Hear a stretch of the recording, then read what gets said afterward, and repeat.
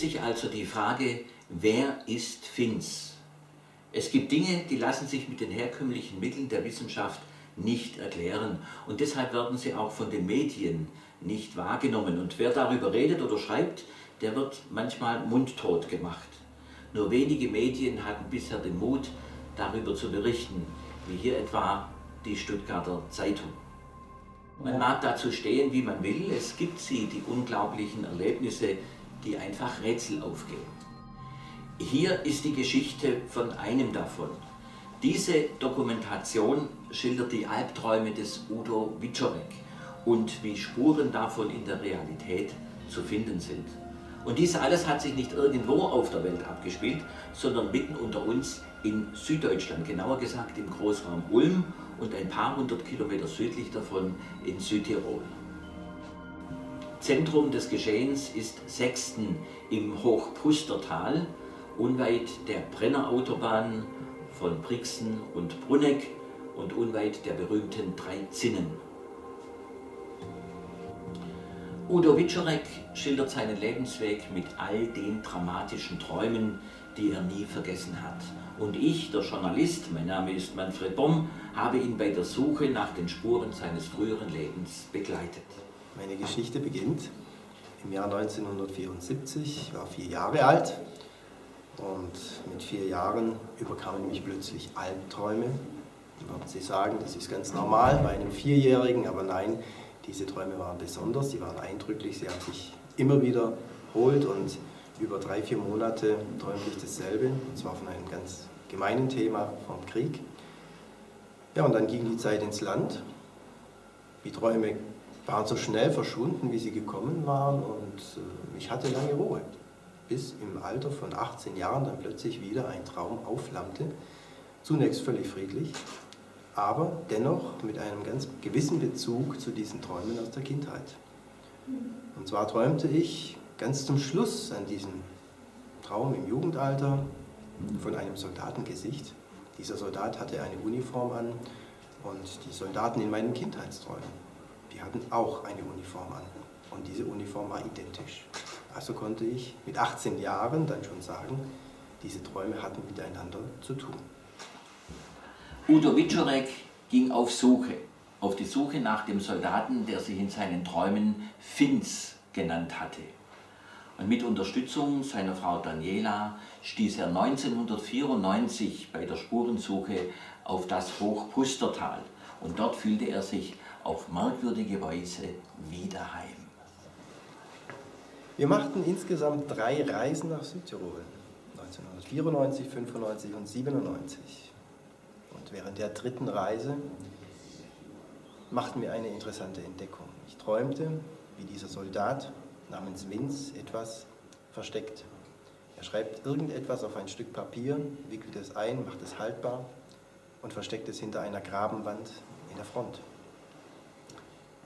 Und nun gab es die Möglichkeit, das zu finden, was er versteckt hat. Es geschah tatsächlich. Wir fanden das, was er versteckt hatte, in einer Blechdose, sehr verrostet, aber der Witterung nicht direkt ausgesetzt. Das Papier, auf, der, auf dem er geschrieben hatte, war gewachst. Und wir fanden tatsächlich einen Brief eines Soldaten namens Vinzenz. Was in dem Brief stand, wer Finz war und was wir bei der Spurensuche alles erlebt haben, das haben wir in unserer Dokumentation chronologisch zusammengestellt.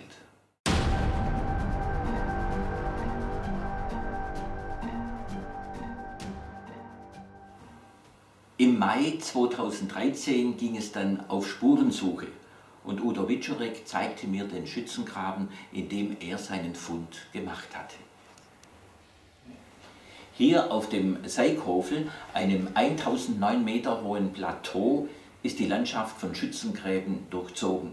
Noch immer sind sie hier zu sehen, allerdings von Sträuchern und Latschenkiefern überwuchert.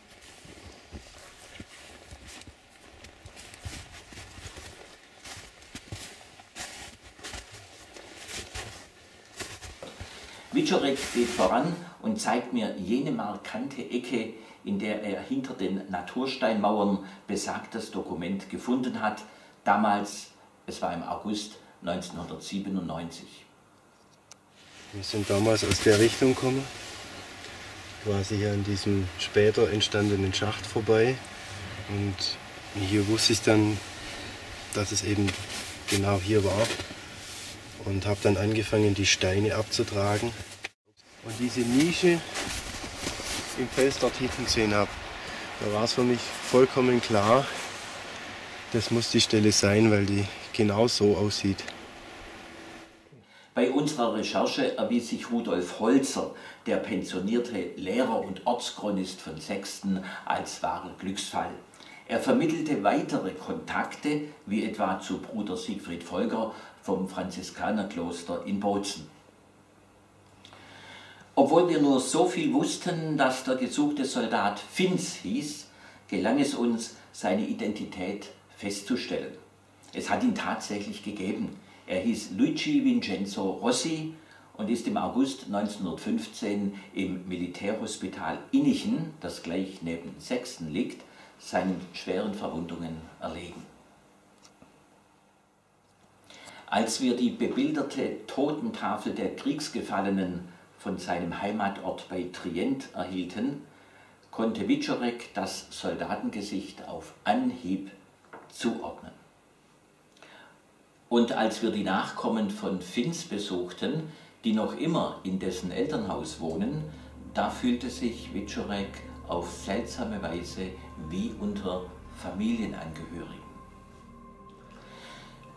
Was er dabei erlebt und gefühlt hat, welche unglaublichen Details wir zutage gefördert haben und was es mit Finns letztendlich auf sich hatte, das haben wir in unserer Dokumentation Seelenvermächtnis dargelegt. Es ist die Dokumentation des Unglaublichen und bei seinen Vortragsabenden ist Wiczorek hautnah zu erleben und anschließend kann man auch mit ihm diskutieren. Wir wollen damit nichts beweisen, sondern es dem Leser selbst überlassen, eigene Schlüsse daraus zu ziehen. Nur eines wollen wir versichern. Es hat sich alles so zugetragen, wie wir es in unserem Buch niedergeschrieben haben. Unser Buch ist über den Buchhandel zu beziehen.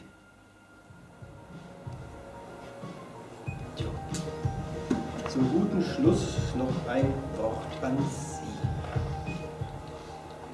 Ja, jetzt wird es gefühlsbetont.